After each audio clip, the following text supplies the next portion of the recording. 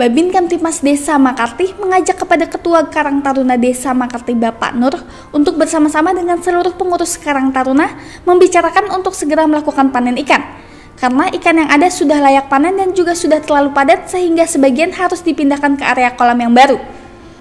Sehubungan di beberapa minggu yang lalu telah dilakukan perluasan area kolam, sekarang sudah siap untuk dilakukan penaburan bibit ikan kembali yang ditargetkan pada bulan Desember ini harus mengalami peningkatan yang diperkirakan bisa mencapai 2 ton. Karena lokasi perluasan kolam sudah mencapai setengah hektar untuk saat ini. Karang Taruna Desa Makarti mengucapkan banyak terima kasih kepada Bapak Dirbinmas Polda Maluku Utara karena berkat pemberian bibit yang kurang lebih 13.000 ekor di beberapa bulan yang lalu sehingga bisa terjadi peningkatan hasil budidaya ikan air tawar serta telah dilakukan peluasan area kolam. Demikian dilaporkan oleh Babin Kamtipmas Desa Makalti Brigadir Polisi Nok Jepa, salam Tribrata.